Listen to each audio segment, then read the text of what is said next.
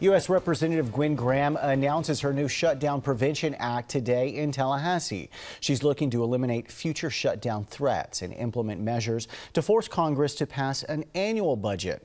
Graham says that the legislation would take away power from the small minority that is causing chaos in Congress and put it back in the hands of the moderate majority.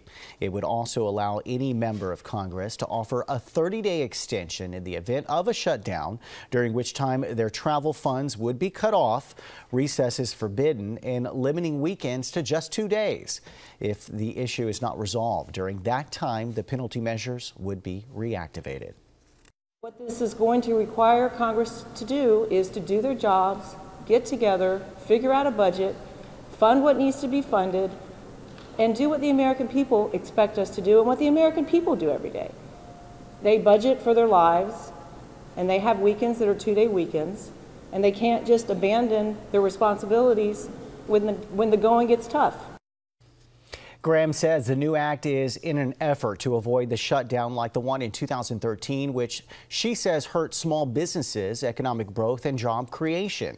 Now, this comes after Wednesday night's vote for a clean, continuing resolution in which a government shutdown was prevented, but just hours before funding lapsed.